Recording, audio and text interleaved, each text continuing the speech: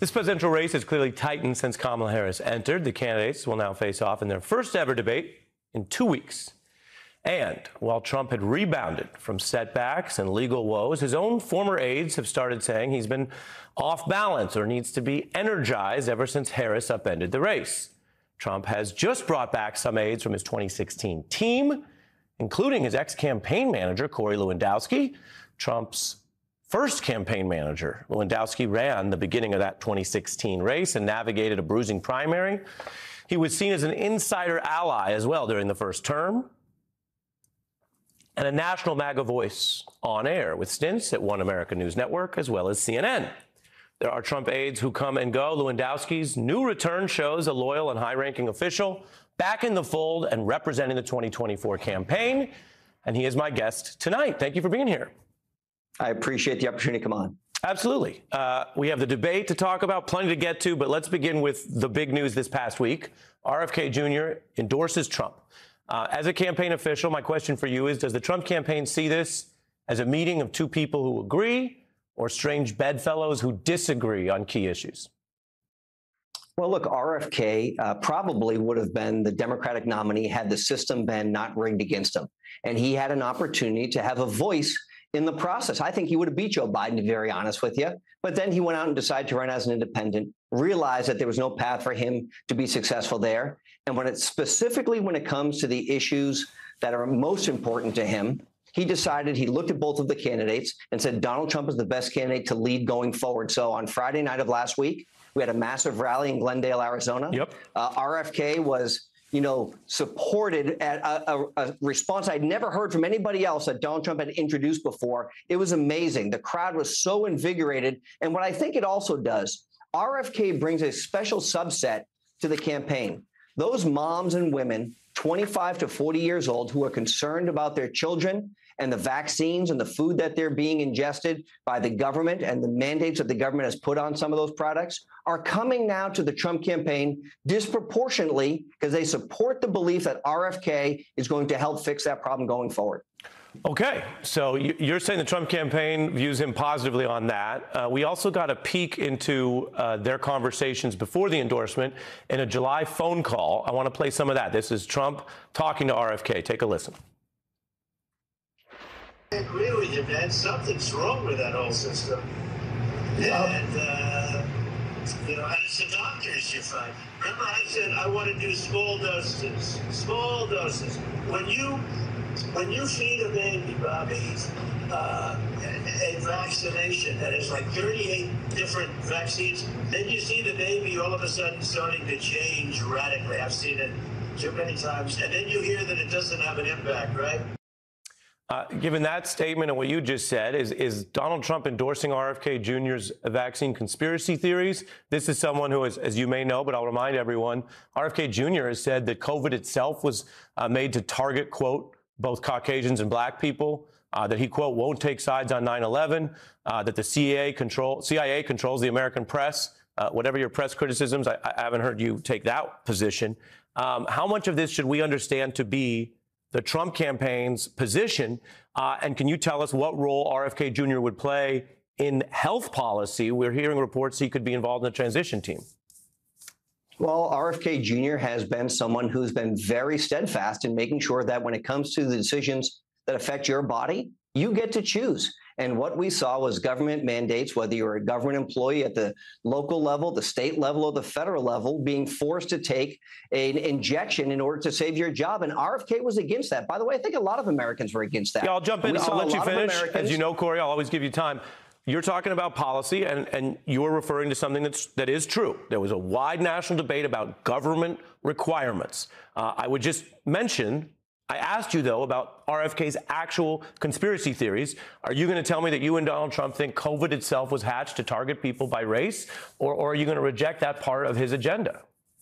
Ari, I'm not here to answer questions for RFK Jr. He's a big man. He can do that on his own. He's been on television a number of times to answer his own questions. What I am here to tell you is that he has a microphone to an audience who's very concerned that the government mandated vaccines into their children and themselves in order to keep their jobs. And there's real Americans who lost their jobs and their livelihoods because of what the government did to them. And I think when it comes to RFK, specifically those moms who have young children, They're very concerned about what is being injected into their children, whether it's through the food supply or through these vaccines. And RFK has an opportunity to go out and talk about the fact that he was right. The government should not have had to mandate those. We don't know the full impact of what was mandated by the government on the long term repercussions that it could potentially cause. So we're very much in line with RFK on that position. All right, I got your answer on that. Uh, we have the headlines about you. Uh, you're not the whole focus of this interview, uh, but you were a big figure in 16, and as as people know in politics, uh, it happens on a lot of campaigns. You were you were replaced. Uh, you're back here. It says uh, Donald Trump's bringing you back. Some people, I'll give you time to respond, view that as a sign that he thinks something was wrong, that he needs the old 16 team, or he needs to shake it up. I also want to mention we have the debate coming. Uh, Trump, as you know, has complained publicly and vociferously about many debates, including this one, uh, but it looks like it's on. Uh, so the two part question, uh, Corey, is one, uh, are you back because the campaign needed a change, that there was some problem uh, with, the, with the campaign or the team as of last month? and second, what should we expect in this debate? Is it really on? Are they still squabbling over the mics? Why is Donald Trump so worried about the mic rules? Well, first and foremost, I'm back because the president asked me to be, not because there was any concern with the leadership of this organization. They have done an amazing job. Look at what they were able to accomplish uh, in a competitive Republican primary field, the, the largest success that any candidate in modern history has ever had. And not just that, before I ever joined this campaign, they drove the Democratic nominee out of the race something that's never been done before. And for the first time in American history, Donald Trump's going to have the opportunity to be two Democratic candidates okay. for president. And he so did. And Trump campaign, did. I'll ask you. Trump did fine in that debate, as you mentioned that history. Does he miss Biden? Sometimes it seems like he'd rather be running that race. Look, I think Kamala is an easier target, to be very honest with you. I think she's going to be easier to beat. She she is saddled with the Biden administration's policy. She has flip flopped on what she believes and what she doesn't believe. And as it relates to the debate, Ari, mm-hmm. you know, just remember when the criteria for this debate was set, it was set with the Biden Harris campaign, not just with Joe Biden. She agreed to all of the terms, specifically as it would have pertained to a vice presidential debate, which she had agreed to. And that meant you stand at the podium, there are no notes required and no notes allowed, and that we have have the microphones off. She wanted to change that criteria because she went from being the vice presidential nominee to now the presidential nominee. We all agreed to what it was. Why she wanted to change it was she wanted to be the same height as Donald Trump. She wanted notes. The fact that she continues to hide from the media and the countdown clock is finally on for her of when she's going to sit down for her first national media debate should be appalling to every journalist in America that has taken her 20 plus days to sit down and do an on camera interview. Do you feel that you guys are now good uh, on an agreement and on the mics for the debate? I think everything has been settled, and we look forward to this opportunity. Yeah. Uh, you mentioned Kamala Harris. She has a new ad today uh, hitting you guys on something that Donald Trump used to talk more supportively about and now has distanced himself from the Heritage Foundation related Project 2025. This is a new ad. Take a look detailed plans for exactly what our movement will do. It's called Project 2025, a 922 page blueprint to make Donald Trump the most powerful president ever, overhauling the Department of Justice, giving Trump the unchecked power to seek vengeance.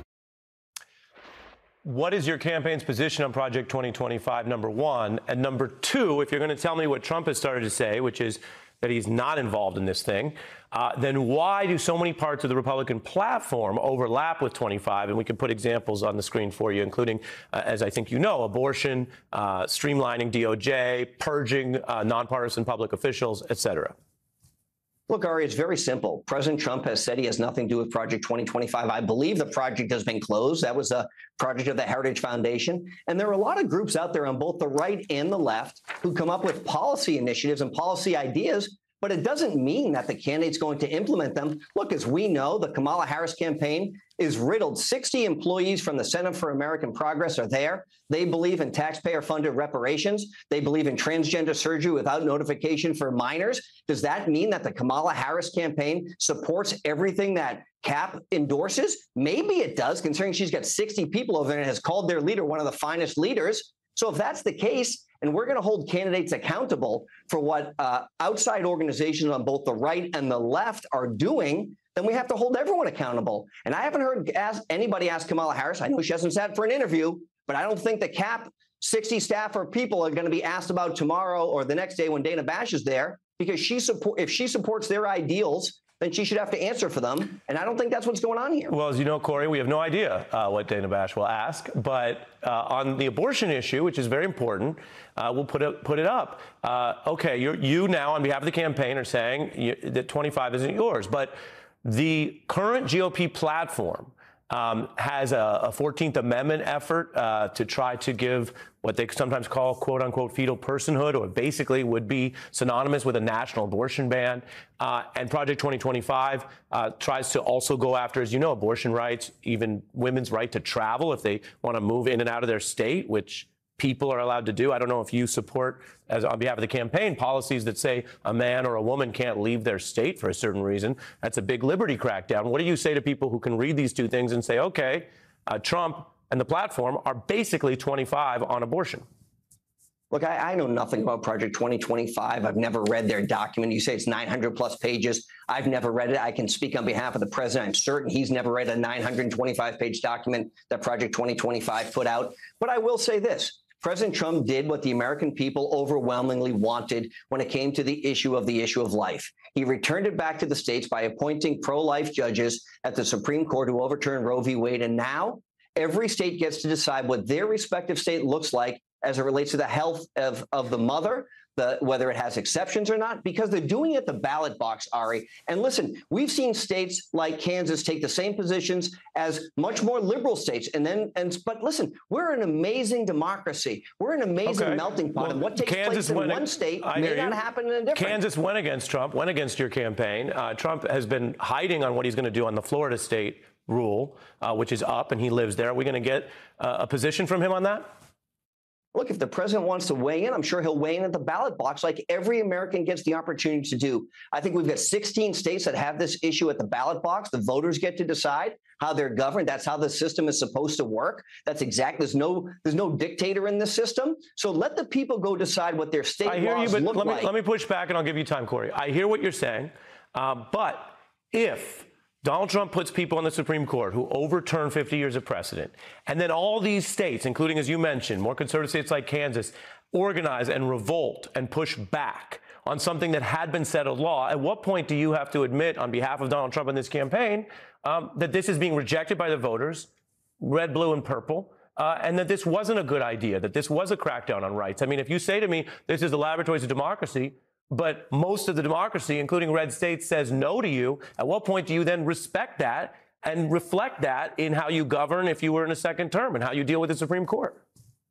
Ari, we, we know Donald Trump's been very clear. Uh, when he ran in 2016, he put out a list of potential conservative judges that he would appoint. The American people knew what his position was going to be on that. And he, he was very clear about that. Now that they've returned this decision to the states, I live in the state of New Hampshire. We get to vote on it, which may look very different what the state of Massachusetts does. And so, listen, why wouldn't we want these individuals who are living in their respective states to have an opportunity to weigh in of what they think is best for them? And, and look, that's how the system system right. works. It's not Donald Trump's decision. So let people decide and let's go and live our lives. Yeah. All right. I got your answer on that. Uh, while I have you, and we've been giving you time, uh, I do want to turn to something that came up in the last time we did an interview. And it's been a few years. You're back here a, as a representative of the campaign. That's a way back machine, baby.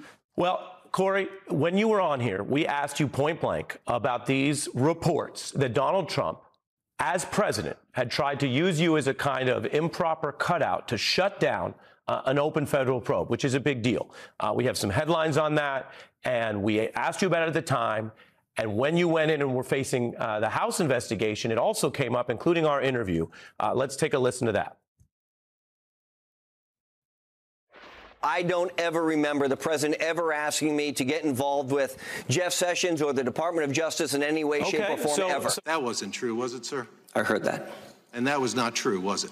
I have no obligation to be honest with the media because they're just as dishonest as anybody else. Perhaps I was inaccurate at that time. Can you state Boy, for the record? Good. Let Boy, me let me ask. I'll give you the question. Amazing, I'll give you the question. And You can get the answer. We we heard you on the campaign, uh, 2024. Now I want to turn to this to deal with it. First time you've been back since then. Do you want to state for the record that what you stated on air was false because people are listening to you about the campaign, and why should they believe you if you're lying about other things? Ari, if we're going down this road, are you going to state that Donald Trump had a bandage on his ear just for a spectacle? Are you going to state that that was false? The guy got shot in the head, and you said the only reason he had a bandage on his ear, I can read you the quote if you want.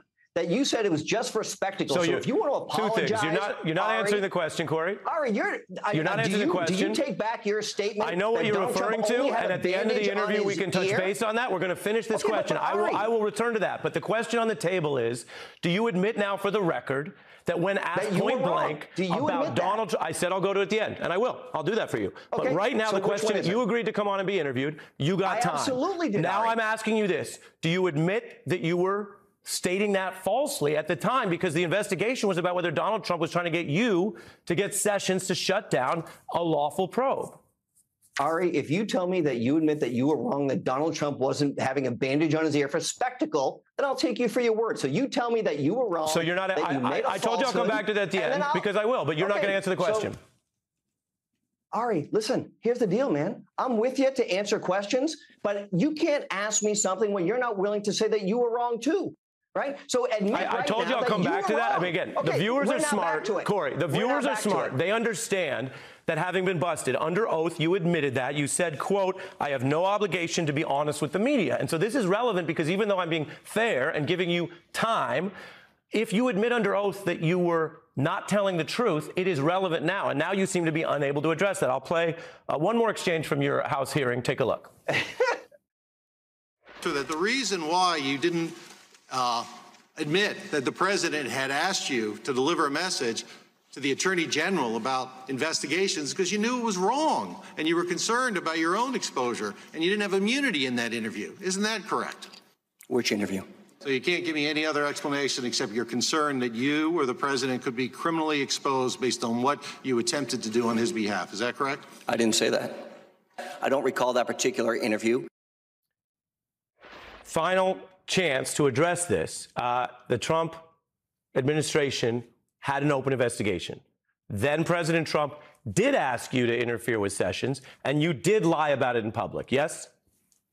Ari, listen, we've been down this path, okay? Well, we haven't. Was, this is your first time back hey, since Ari, the path. Ari, that that interview was four plus, almost five years ago okay. to the day. To be very honest with you, okay. You guys want to relitigate something from half a decade ago, and I think what you'd rather have is me talking about what the future looks like for the next president of the United States and the policy differences Corey, between Donald Trump and Corey, Kamala let's be Harris. straight. You're you're you're a clear, Let, straight speaker. Straight.